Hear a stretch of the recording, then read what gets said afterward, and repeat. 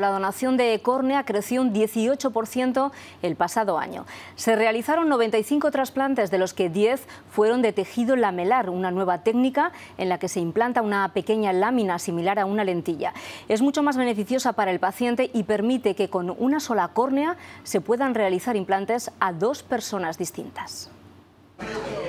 Estos 25 profesionales han venido de diferentes bancos de sangre y tejidos de España. Aquí aprenden esta técnica para realizar trasplantes de córnea. Miden el grosor de la córnea y después con esta máquina realizan un corte milimétrico de la misma como una lentilla que será la que se reimplante en el paciente. Hasta ahora se trasplantaba la córnea entera.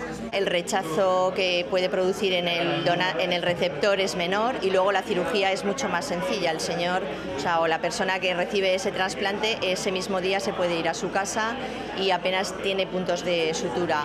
Trabajan en coordinación con los oftalmólogos que determinan el grosor de la lamela que necesitan.